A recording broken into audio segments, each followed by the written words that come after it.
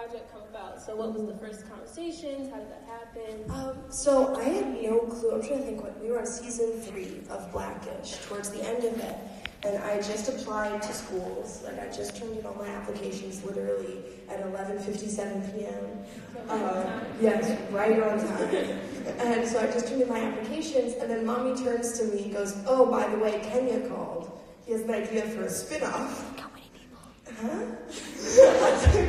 I think my favorite thing was mommy knew that just because it was such a, an intense moment in which I was trying to get these applications in and do my best work, of course, she let me just focus on that without the impending idea of a, of a spin-off coming about. Right, shout out to mom. hmm And so that night, I talked to Kenya, and important to him that Zoe didn't remain static, you know, because she is the age in which she would be going on her own adventure. And she is, and they have talked about college on the show, and so he did really want to take that next step into figuring out what Zoe's college experience would be like and the kind of world that you could build around it. Um, and so that's really how it came about from the, the it's the brainchild of Kenya Barris. And at first I, I was uncertain just because, it, I mean, it's such a big step, and to go from being a part of a lovely cast to then saying, oh, it's about Zoe. This story is about Zoe. Um, and so that was nerve wracking, but I think after meeting with Kenya and him fleshing out the whole idea, and even from our initial meeting in January to when we shot the pilot in March to when we shot the series in September, I mean, so much has morphed and changed in, in necessary ways, but I think it was that initial meeting that I was like, oh wow, this is really interesting.